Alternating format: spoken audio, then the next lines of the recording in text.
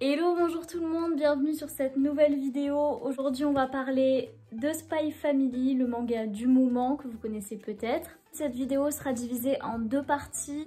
Il y aura une partie plus formelle où je vais vraiment vous présenter le manga pour ceux qui ne l'auraient pas lu et qui auront envie de savoir ben, son résumé, les personnages, euh, son implication, la mise en contexte, la date, l'auteur, toutes ces choses-là un peu pratiques. Et ensuite je vous ferai vraiment euh, ma partie plus personnelle pour ceux potentiellement qui l'ont lu euh, je compte pas spoiler particulièrement, hein, mais c'est une partie où voilà, je vais donner mon avis, du coup j'évoquerai certains éléments euh, qui impliquent une lecture.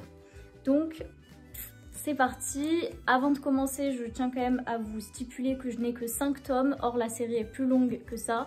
Donc euh, voilà, mon avis se base vraiment sur les 5 premiers tomes, mais je pense que c'est quand même largement suffisant pour avoir un certain recul sur l'histoire. Du coup, on commence avec l'auteur. Donc l'auteur de Spy Family, c'est Tatsuya Endo. Le manga a été publié au Japon en 2019, donc c'est un petit, euh, un petit nouveau, un récent, et en France en 2020, et aux éditions Kurokawa. On a actuellement 8 volumes qui sont publiés au Japon, 8 en France aussi, et ils sont en cours de réalisation, donc ce n'est pas terminé. Et je vous ai relevé aussi euh, l'âge conseillé à cette lecture. Il y a marqué donc que ça serait pour à partir de 14 ans, euh, personnellement, je pense qu'on peut les lire avant, surtout les premiers tomes, j'ai vu absolument rien de particulièrement choquant en termes de limitation d'âge.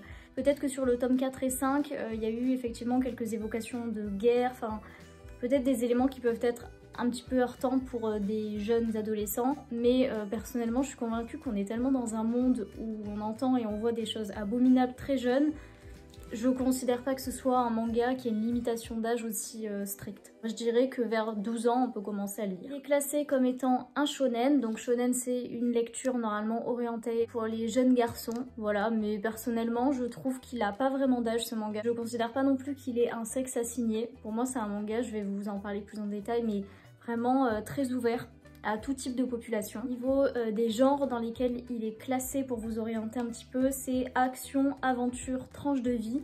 Moi personnellement, je pense qu'il aborde des thèmes bien plus larges, du polar, de la famille, de la politique, euh, du mensonge, du déguisement, de la tromperie, euh, du fantastique aussi. Il y a une grande dimension réservée à l'humour, au ridicule. En fait, c'est pour moi le manga le plus euh, pluridisciplinaire qui fait que c'est un manga qui pourrait plaire à tout type de profil, en tout cas une très large population. Et j'ai également relevé qu'il était caractérisé par énormément de succès. Il a reçu beaucoup de prix, tellement que je les ai même pas notés parce que...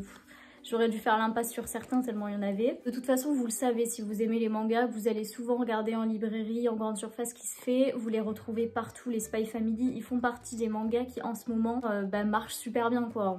On, les retrouve vraiment de façon très accessible. Et en plus, ils sont assez discernables, on va dire. C'est-à-dire que quand vous les voyez, vous les oubliez pas. Je trouve qu'ils se différencient vraiment des autres de par leur jacket comme ça en bleu un peu métallique. D'ailleurs, petite anecdote, une fois à Goyard et j'étais au rayon manga, je regardais un petit peu ce qui se faisait et euh, il y a une, personne âgée qui cherchait sûrement quelque chose pour euh, l'un de ses petits-enfants et qui a demandé à la dame qui gérait le rayon et en fait elle lui a dit euh, si vous savez pas quoi lui prendre prenez-lui Spy Family c'est vraiment une lecture qui plaît à énormément de jeunes et qui marche très bien en ce moment. Voilà, donc c'était ma petite anecdote, mais je me suis dit exactement, c'est exactement ça. Puis en ce qui concerne la structure du manga, il est divisé en entre 5 et 7 chapitres qui sont nommés des missions, ce qui fait que ça fluidifie vraiment votre lecture, vous pouvez la stopper, la reprendre plus tard. Puis au niveau du format du manga, on a euh, donc les jaquettes qui sont comme ça métalliques, vous voyez, un peu brillantes. Et puis pour les premières pages, on a souvent une image en couleur comme ça. On retrouve à chaque fois au début du manga une présentation des personnages à nouveau, assez détaillée je trouve et qui euh, remet vraiment l'histoire dans son contexte et un petit résumé comme ça. Et je considère même que c'est assez bien expliqué de sorte à ce que si on n'a qu'un seul tome, on peut arriver à se remettre dans l'histoire et, euh, et à suivre. Donc voilà, c'est systématiquement la même présentation, mais je trouve que c'est plutôt bien fait. Et le prix est à 6,90€ donc on est sur un manga des plus classiques que ce soit en termes de pages, de format, de prix. Pour terminer sur cette partie un petit peu formelle, j'ai entendu dire qu'il y aurait un animé qui se prépare et qui sortirait en avril 2022. Donc pour ceux qui ont beaucoup aimé Spy Family ou qui vont beaucoup aimer Spy Family, ça peut aussi être un autre moyen de, de le découvrir. Du coup maintenant on passe à la partie plus personnelle et je vais commencer par vous présenter l'histoire, le résumé. Donc on est dans un contexte de guerre froide, c'est là tout l'aspect politique dont j'évoquais tout à l'heure. Et donc cette guerre froide, elle induit une paix qui est bah, précaire entre l'Est, ce qui est appelé Ostania, et l'Ouest, qui est appelé Westalis. Et donc on est sur un monde fictif et des pays du coup inventés, hein, Ostania et Westalis dans lequel on a Twilight, donc c'est un nom de code. Twilight est un espion secret envoyé de Westalis à Ostania et il est chargé de mener à bien une opération qui s'appelle Strix. Cette opération, elle consiste à se rapprocher et à enquêter sur leur cible, à ces personnes dont fait partie Twilight de Westalis, le politicien extrémiste d'Ostania qui lui s'appelle Donovan Desmond. Pour ce faire, Twilight va devoir changer d'identité, ça a l'air d'être un petit peu son fort, hein, le déguisement. L'impression qu'à chacune de ses missions, il a dû changer vie, entre guillemets. Donc il doit euh, se mettre sous couverture d'un psychiatre nommé Lloyd Forger et jouer le père de famille. Donc le politicien extrémiste d'Ostania, Donovan Desmond, a en fait un enfant un jeune garçon qui s'appelle Damien Desmond et qui est dans euh, l'école d'Eden. C'est pourquoi Lloyd doit adopter un enfant et notamment euh, une jeune fille hein, qu'on a vu sur les couvertures dont je vous parle après pour qu'elle puisse se rapprocher en fait du fils Damien Desmond. Et du coup, bah, Lloyd Forger, sous sa fausse identité, puisse se rapprocher de Donovan Desmond. S'infiltrer comme ça dans les rencontres amicales entre les parents d'élèves, puis essayer comme ça d'en savoir plus sur son ennemi. Lloyd va euh, faire la démarche d'adopter une jeune fille en orphelinat. Il veut une enfant particulièrement intelligente pour qu'elle puisse se démarquer à l'école. Hein et surtout poursuivre, puisque comme je vous l'ai dit, c'est une école prestigieuse. On lui montre une jeune fille qui apparaît aux yeux de tout le monde être assez intelligente pour son âge. Et en fait, ce que Lloyd et le monde entier ignorent, c'est que cette jeune fille, qui s'appelle Anya, elle est le fruit d'expériences qui ont été menées par une organisation secrète. Et puis il se trouve que l'un des critères d'admission pour entrer dans l'école d'Eden, c'est que les deux parents soient là. Or Lloyd est seul père de famille, donc il va devoir créer une famille factice, ce qui fait qu'il va contracter un faux mariage avec une jeune femme qui s'appelle Yor Briard, qui a, elle, pour couverture d'être assistante de direction à la mairie de la ville où ils vivent, donc Berlin.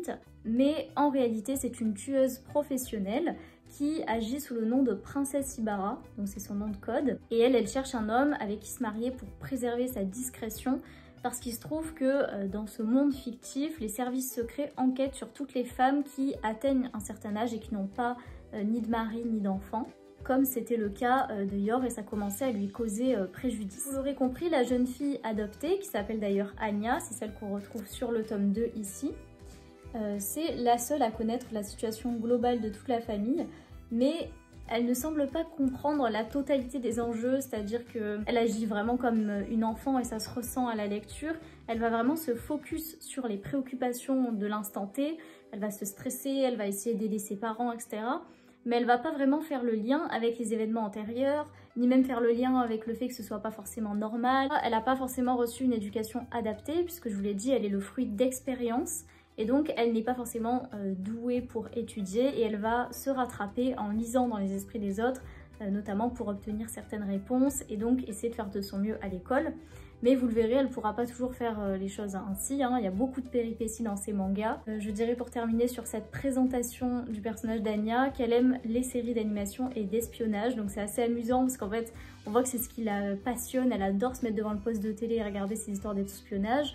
Mais en fait, en réalité, ses parents euh, sont complètement imbriqués dans tout ça.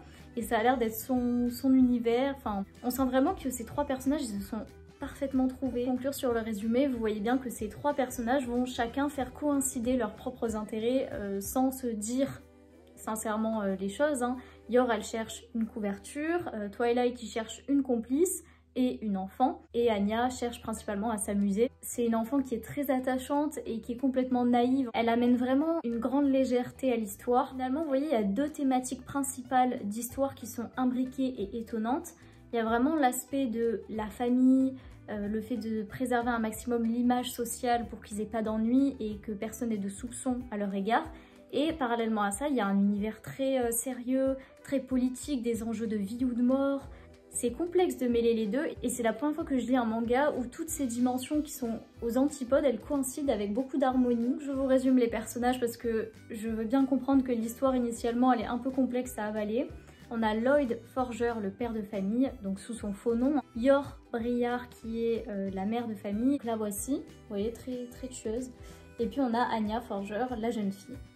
On a aussi d'autres personnages qui vont être assez présents dans l'histoire. Les amis d'école de Anya, il y a euh, le petit garçon Damien Desmond, Vous imaginez aussi qu'il y a les familles qui gravitent autour notamment de Yor avec son frère et les collaborateurs, informateurs de Lloyd, euh, comme le personnage de Frankie. Enfin voilà, il y a quelques personnages comme ça qui vont être assez récurrents au fur et à mesure des tomes. Et en ce qui concerne ma lecture, j'ai des aspects assez positifs à vous partager comme certains négatifs. Je vais commencer par les aspects positifs. Tout d'abord, je mettrai vraiment en lumière les tomes que j'ai préférés. Euh, j'ai beaucoup aimé les premiers tomes, le tome 1 et 2 en fait. Simplement le moment où l'histoire se tisse, où on se demande en fait comment est-ce qu'ils vont se rencontrer, euh, comment est-ce que Lloyd va se débrouiller pour se trouver une famille comme ça. Le tome 1, j'aime vraiment beaucoup. Et un tome coup de cœur, je l'ai particulièrement aimé vis-à-vis euh, des autres, c'est euh, le tome 4, qui est celui-ci. Je ne vous spoilerai pas, ne vous inquiétez pas si vous ne l'avez pas lu, mais vraiment ce, ce tome-là, je l'ai adoré, je l'ai lu il n'y a pas longtemps en plus. Et comme je vous dis, euh, il y en a 8 et j'en ai lu que 5, donc potentiellement euh, dans les derniers, il y en aurait d'autres qui m'auraient particulièrement plu. J'ai vraiment aimé dans ce manga aussi, c'est le fait que c'est une situation peu conventionnelle, une famille qui sort de l'ordinaire, où tout est à euh, construire, où tout est basé sur du faux, du mensonge.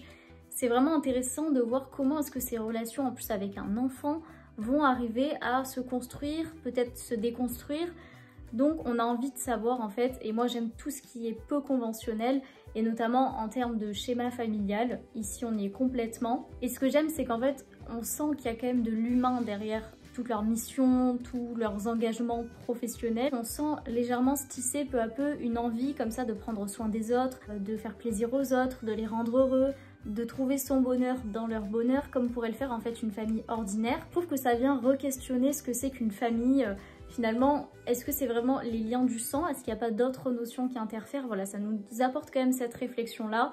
Et pour moi, on peut les considérer comme une famille malgré tout. Autre aspect que je trouve très intéressant pour ce manga, c'est l'ambivalence des personnages. C'est-à-dire qu'on n'est vraiment pas sur un manga qui se limite à une histoire superficielle. Comme je vous l'ai dit, c'est une histoire qui demande peut-être un petit peu de réflexion dans le sens où il y a des enjeux gouvernementaux, politiques. C'est déjà des notions qui sont... Euh, impliquante quand on lit un manga en termes de concentration et d'attention. Mais en plus de ça, on a des personnages qui ont de multiples facettes. Vraiment, le personnage de la mère, Yor, elle est impressionnante, qu'elle est à la fois extrêmement sanglante, extrêmement violente quand on la voit dans ses moments euh, seuls et secrets. Et d'un autre côté, quand elle est en famille, elle apparaît comme une femme extrêmement douce, qui protège énormément Anya, qui soutient et qui apporte beaucoup d'affection euh, à Lloyd. Et puis comme je vous ai dit dans l'intro, il y a quand même une dimension du ridicule et du comique qui est extraordinaire dans ce manga. On est à certains moments dans des sensations où on est en stress, où on angoisse, où on se préoccupe euh, de, de dangers vraiment imminents. Et puis il y a une petite blague comme ça qui survient, quelque chose vraiment de ridicule, d'amusant et ça apporte encore une dimension de richesse à la lecture. Ce que j'apprécie aussi, c'est vraiment qu'il n'y a pas de personnage principal, on va dire. On pourrait peut-être considérer que c'est Lloyd parce que c'est lui qui est à l'initiative de l'histoire, mais finalement, je considère pas que c'est lui le personnage principal.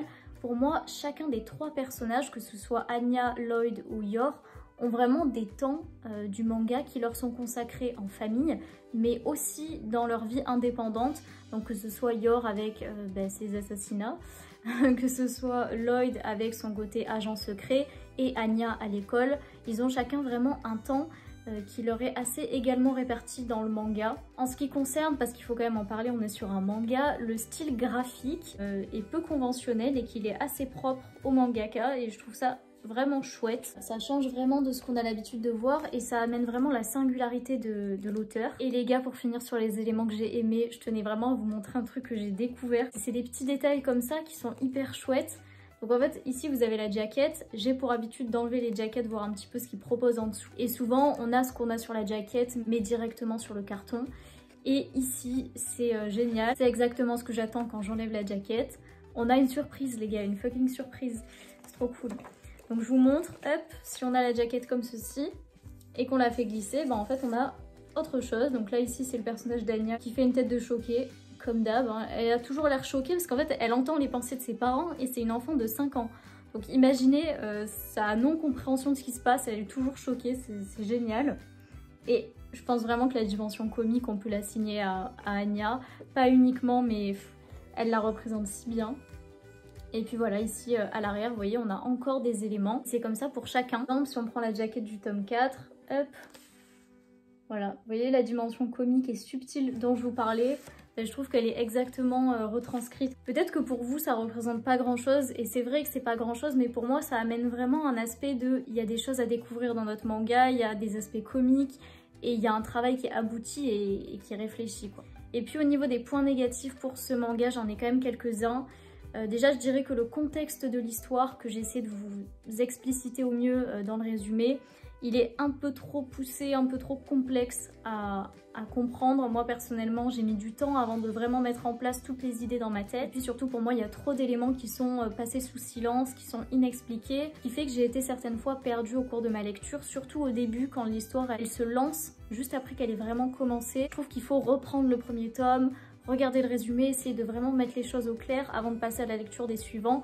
Et ça c'est un peu dommage je trouve, surtout parce que moi c'est pas des dimensions du tout qui m'intéressent, le côté action, le côté euh, polar, euh, criminel, euh, c'est pas du tout ça que je recherche dans mes lectures. Mais si ça vous plaît, en tout cas c'est l'un des rares mangas qui le fait et c'est pour ça que je le mets en lumière, je trouve ça vraiment chouette. L'autre aspect que je trouve un peu regrettable, c'est qu'on a en fait très peu de connaissances voire pas sur la vie antérieure des personnages, sur leur enfance, sur leurs amis, sur tout ce qui s'est passé en fait avant qu'ils se rencontrent, avant que l'histoire commence. Il n'y a pas vraiment de euh, flashback, à part peut-être le personnage de Yor, parce que son frère, son petit frère est inclus à l'histoire, du coup parfois ils font des espèces de rétrospectives, mais que ce soit le personnage de Lloyd ou de Anya, on n'a pas d'éléments sur leur passé, presque pas, et je trouve que ça manque quand même. Aspect que j'ai pas forcément adoré. Dans ce manga, on a beaucoup d'éléments irréalistes, que ce soit en termes de sauts, en termes de puissance corporelle, hein, c'est euh, comme dans Dragon Ball Z, hein. la mère qui pousse une voiture et la voiture qui, détale sur 100 mètres, euh, toute cabossée, enfin... Vous voyez, il y a ce genre d'éléments fantastiques du coup, avec aussi la thématique du déguisement qui est vraiment exploitée pour le personnage de Lloyd. En fait, il se déguise comme s'il était euh, quelqu'un d'autre. Je veux dire, comment il peut changer sa voix. Enfin, ça, c'est des éléments pour moi qui sont difficiles à apprécier dans mes lectures. Et ici, c'est présent. Donc c'est pas un aspect que j'ai beaucoup aimé, mais encore une fois, ça c'est vraiment personnel, ça n'atteint pas la qualité euh, de l'œuvre. Et puis pour finir, un dernier élément qui m'a gêné dans ma lecture, c'est l'énorme euh, prégnance de l'anglicisme. Il y a vraiment beaucoup de mots qui sont euh, transformés en anglais. C'est quelque chose que j'aime pas du tout. J'adore retrouver des prénoms japonais, la culture japonaise dans mes lectures manga. Et ici, il y a beaucoup de noms d'opérations Apple, par exemple. Euh, le nom de la ville où ils vivent, je vous l'ai dit, c'est Berlin. Ça sonne pas du tout japonais, vous voyez, il y a le personnage de Twilight.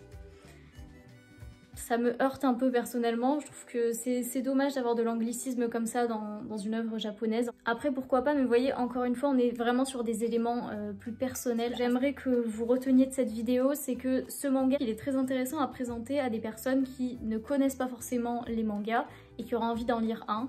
Celui-là, en ce moment, vraiment, c'est une pépite. Il peut plaire à tellement de monde euh, par ses divers aspects. Vous voyez, moi, il y a des aspects que j'aime moins, mais il y en a aussi que j'aime beaucoup et qui sont aussi traités. Vraiment, pour moi, c'est une lecture qui vaut le détour et que je vous conseille. Et je vais du coup clôturer cette vidéo. Je vous invite, si vous l'avez appréciée, à laisser un like, à vous abonner, à laisser un commentaire. Si vous avez regardé cette vidéo jusqu'ici, je vous remercie du fond du cœur. Ça me fait extrêmement plaisir. J'espère que vous avez passé un bon moment que vous avez appris des choses sur euh, ce manga et que peut-être il vous a inspiré. Et puis moi je vous dis à très bientôt, on se retrouvera à l'occasion d'une nouvelle critique lecture sur l'un d'entre eux. J'espère vraiment que vous avez apprécié cette vidéo et puis je vous souhaite à tous une très belle journée.